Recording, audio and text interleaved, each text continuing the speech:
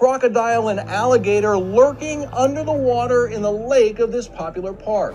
Oh, not again. Green eyes, scales, and lives at a popular park in Mesa.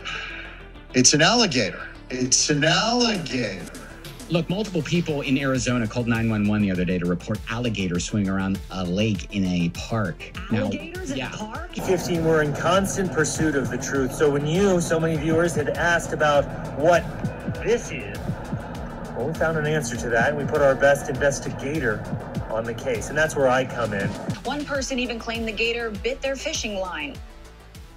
I'm at uh, Riverview Park, and uh, I think there's an alligator inside one of the like water areas. Okay, is it being like aggressive towards people? Uh, no, it's just like kind of hanging out. There's there yeah, there's like three live alligators in here. And you said there's like three of them? Yeah, there's one under the bridge. I think there's either two or three. Right now I'm looking at one that's just swimming around.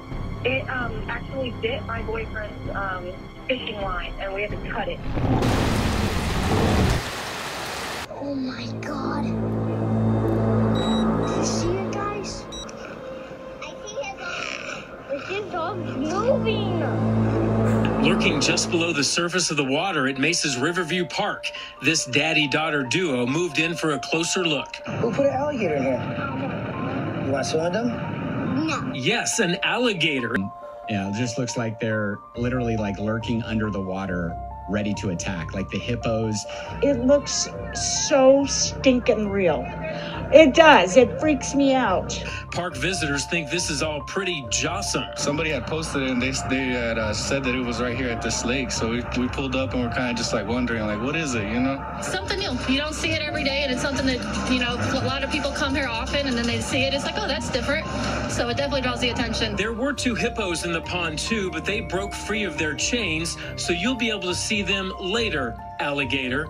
Brian Webb, Fox 10 News. It looks so stinking real.